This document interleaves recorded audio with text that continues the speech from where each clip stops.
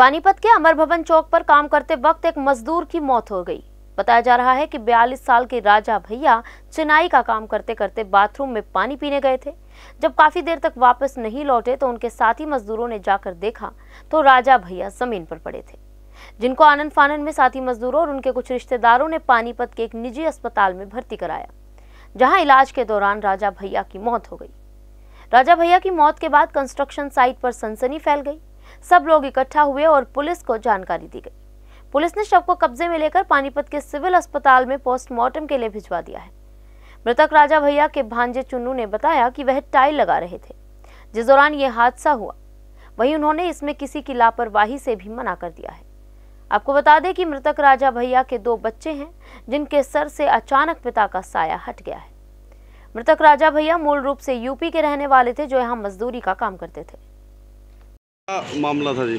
कल रात को बदरिया से टेलीफोन सूचना मिली कि भाई एक बंदा ऐसे ऐसे इस वहाँ से छत से गिर गया है। कार्रवाई तो जो रात में आकर तक मिला अब सवेरे इसके वारिस आए हैं। उनसे एक सौ छिहत्तर की कार्रवाई कोई कोई किसी को शख्स वो नहीं किया कोई किसी का प्रॉब्लम तो सर पता चला हादसा कैसे हुआ किस कारण हुआ? इतना नहीं जो इन्होंने बताया ना। क्या बताया? काम कर रहे थे। किस चीज़ का काम चल रहा है ये तो नीचे गिरा देखा। लिफ्ट से गिरे हैं? नहीं लिफ्ट तो वैसे उसका जी। राजा भैया नाम था उसका। और काम कर रहा था वो। कहाँ काम कर रहे थे अमर भवन चौक पे। क्या पता है उसको क्या हुआ क्या चक्कर से गिरा है। अभी क्या नशे में था। दारू भी पिया था लगता है। सारा कुछ इस नशे में था क्या पता है कैसे तो पेशाब करने गया। मोबाइल से बात भी कर रहा था क्या हुआ क्या नहीं हुआ जी पता नहीं है। मौके में तो मान लो और उसके पीछे पीछे तो घूमते नहीं है कि क्या कर रहा है बंदा क्या नहीं कर रहा है। लिफ्ट सुना कि कहाँ पर मिली उसकी डेड बॉडी कहाँ पर मिली कहाँ आपने देखा? तो लिफ्ट के नीचे गिरी पड़ी थी डेड बॉडी जी। थोड़ा नीचे लिफ्ट? लिफ्ट के नीचे गिरी थी डेड बॉडी। तो क्या कर रहा था ये क्या काम करता था वहाँ पे? वो तो जो चुनाई का कंस्ट्रक्शन लाइन काम हो रहा है जी। हाँ इसलिए वो किस किस किस चीज़ में हो रहा था कंस्ट्रक्शन का काम? ये तो शोरूम बन रहे थे जी शोरूम कहाँ पे?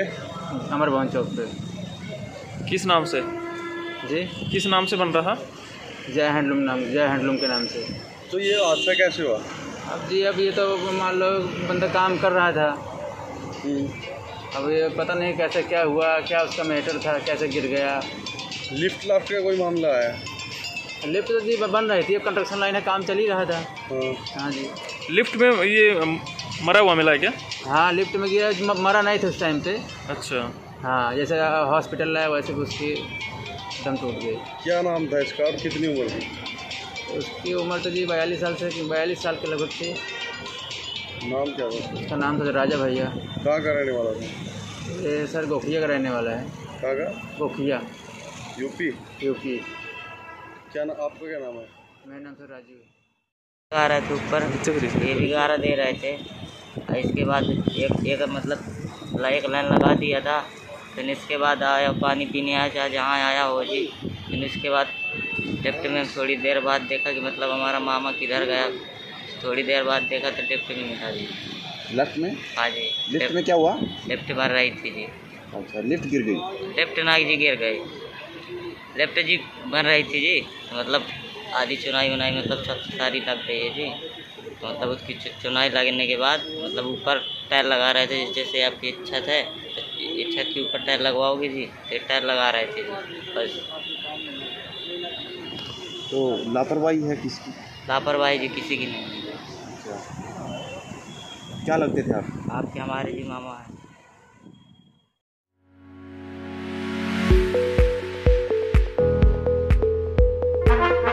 ब्रेकिंग न्यूज़, रास बसेरा आपके लिए लेकर आए हैं खास मौका। वो भी हरियाणा सरकार की अफोर्डेबल हाउसिंग योजना के साथ, जिसके तहत आपको मिलेगी छह लाख रुपए तक की सुविधाओं के रूप में सब्सिडी जैसे कि free parking EDC IDC free club charges free और मेंटेनेंस फ्री और कोई हिडन चार्जेस भी नहीं। तो आज ही बिना देर किए अपने सपनों का घर बुक करें।